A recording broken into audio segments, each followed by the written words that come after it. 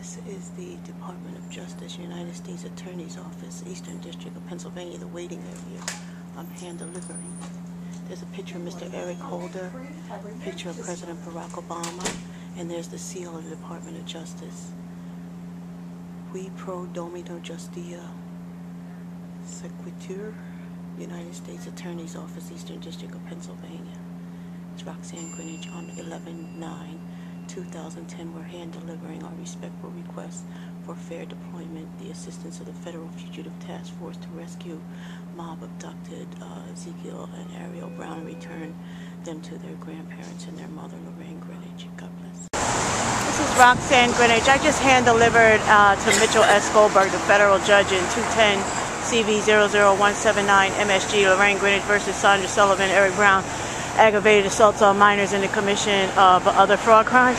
And as I'm walking back, I also went to the, the U.S. Department of Justice Attorney uh, Zane David Memeger's office. I have film of that, but I thought it was important to note as I passed the Independence Visitor Center, this is the state of what our dear Constitution has become. You see a person who just totally beat down and, and given up in front of our Independence Visitor Center with our very dignified language from our U.S. Constitution written on the wall of Independence Visitor Center. Nearby there were some rangers. I didn't uh, film them for the, to respect their privacy. But this is in plain open sight.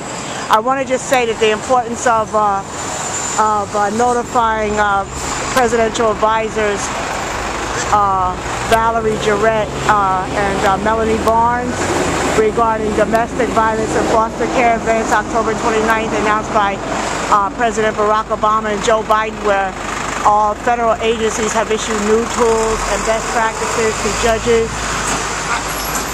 and uh, evaluators and everything. Is the first administration that recognizes the problem is lies in our family court that the domestic violence epidemic and children not being safe at home starts is being started systematically and perpetrated by financial incentive relationships, public official corruption, fraud, and civil rights felonies inflicted upon working class student and impoverished families who petition domestic relations judges uh, for protections from abuse and are systematically denied protection from abuse for the sake of siphoning the children for the billability profit of state agency DHS contractors.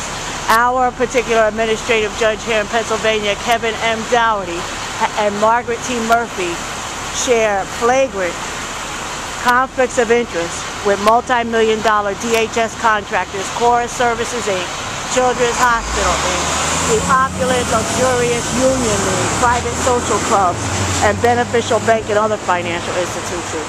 They are way beyond having any concern for fair adjudication of what is in the best interest of families and children. Okay, and that's why we included on our uh, respectful request for fair assistance of the Federal Fugitive Task Force to rescue uh, abusive parent mob assault abducted uh, on June 8th, Ezekiel Brown and Arriyel Brown, ages 4 and 2, for, and to arrest Eric Brown and Sandra Sullivan, who are fugitives in both the public mob assault case and the federal case, 210 CV 00179 12-13-2009, aggravated assaults on minors while in the commission of car theft, insurance fraud, SSI fraud, bigamy, perjury, fraud of every Philadelphia court, child support enforcement, and so on. So let's see how they act, if these particular prosecutors uh, Mr. David, Ms. Zane David Memeger, who's different from Mr. Michael Levy, who ignored our requests for help, and the FBI local here that helped us gather the docket monitoring and letter notice uh, data that showed there was a systematic abuse of immunity language, corruption, uh, court reform state of emergency here in the Eastern District of Pennsylvania. So let's, I just refuse to give up hope that there are ethical prosecutors, there are ethical decision makers that are going to intervene, hopefully, and do the right thing. God bless everyone. Continue strongest prayers for the rescue of children, elderly, and disabled of all ages, which are transported for the profit and billability of state agency DHS contractors, human trafficking, modern day slavery. It's Roxanne Grinage, HireLyrics.org.